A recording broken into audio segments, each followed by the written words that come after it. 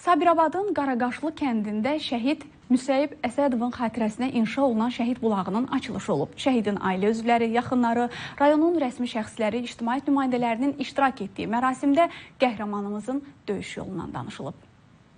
Birinci Qarabağ müharibəsi zamanı itkin düşən və bugünə kimi hələ də xəbəri gəlməyən qəhrəman igidlərimizdən biri də Müsalib Yahyaoğlu Əsədovdur. Sabirabadın Qaraqaşlı kəndindən olan qəhrəmanımız uşaqlıq illərindən idmanla məşğul olub və daim digər yoldaşlarından fərqlənib. Ailənin son beşiyi olan Müsalib 1993-cü il iyul ayında həqiqi hərbi xidmətə yollanıb və ilk günlərindən döyüşlərə qatılıb. Onun döyüş yolu Tərtər və Ağdara istiqamətində olub. 1994-cü il aprel ayının 11-də Suqovşan uğrunda gedən döyüşlərdə itkin düşüb. Vətənə məhəbbət onda o yaşlarında, məktəb yaşından oyanmışdı.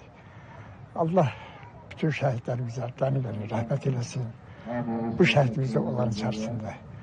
Bütün Azərbaycan şəhidlərim qarşısında baş əyirəm. Onun analarının qarşısında baş əyirəm.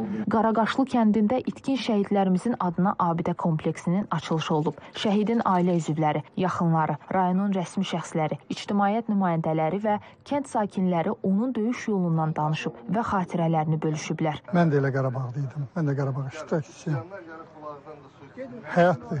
Elə gətirdi ki, müsalib təxmin 9 ay hərbi xidmətdə oldu. 28 döyüş keçirdi. 28-ci döyüşü son döyüşlər oldu.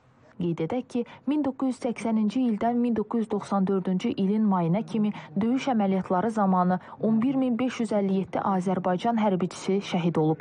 3503 nəfər isə itkin düşüb. Yaqub Mehdoğlu, Vüqar Qaliboğlu, Lalə Əliyeva, Space xəbər Sabirabad.